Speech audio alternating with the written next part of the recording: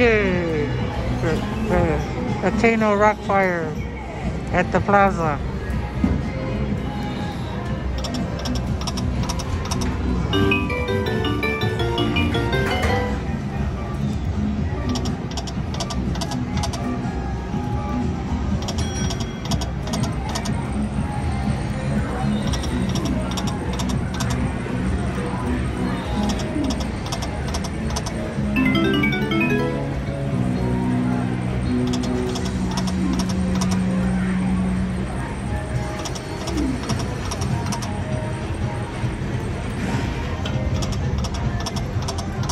thank you